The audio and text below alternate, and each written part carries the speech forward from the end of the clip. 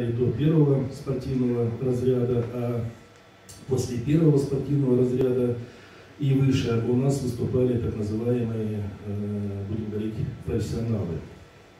Самое главное, что на нашем спортивном объекте «Салют Герклеон» прошли два отборочных этапа. Это ноябрь месяц 10-12 2017 года и 23-24 февраля 2018 года.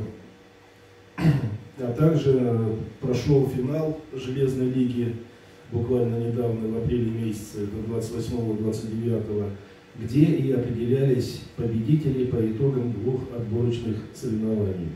Победители определялись у нас по системе Симплера, что самое главное, сейчас Федерация тяжелой атлетики России, когда проводит такие же соревнования, они тоже проводят эти соревнования по той же системе, по системе Симплера. Все победители награждались у нас ценными призами, а в финале, естественно, денежными призами. И также победители, тренеры тоже награждались. Я уже не буду называть э, призовой фонд, потому что он приличный был. И мало кто проводит такие соревнования с, с такими призовыми, поэтому уже это большое отличие.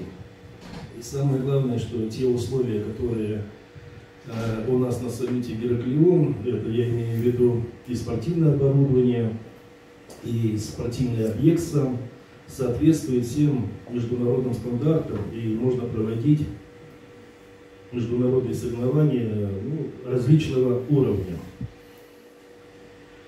И мы вправе сегодня говорить о том, что Салют Гераклион – это лучшая площадка для проведения не только всероссийских соревнований. Что касается следующих стартов, которые пройдут в этом году именно по тяжелой атлетике, то это будет 20-22 июля.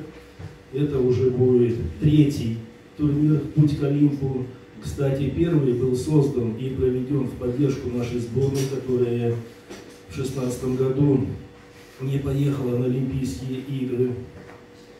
Э, с денежными вознаграждениями. И самое главное, что руку помощи спортсменам и также Федерации тяжелой атлетики России протянул это Еремин Сергей Александрович, но, к сожалению, ни Федерация тяжелой атлетики России, ни спортсмены этого не оценили.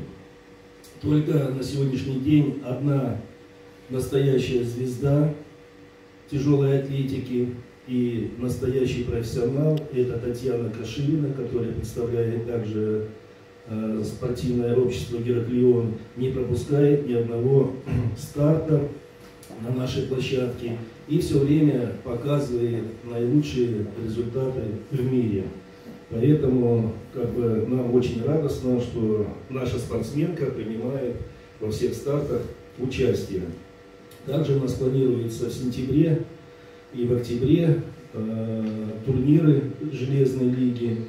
И финал попытаемся провести к концу года. Одно дело, когда мы вам рассказываем, что как у нас проходит соревнование, как красиво все, какая картинка, как здорово, что это является международным стандартом, но другое дело, что, по-моему, кроме Зубакова, журналиста, знаменитого, который часто пишет про тяжелую атлетику, больше, к сожалению, почему-то мы не видим на наших соревнованиях. Поэтому, Алексей, тебе большое спасибо, что ты на сегодняшний день один из тех журналистов, которые описывают непосредственно э, про тяжелую атлетику. Отдельное тебе спасибо. Ну вот, в принципе, вкратце, наверное, и все, то, что прошло, то, что будет. Спасибо. Спасибо, Сергей Александрович. Ну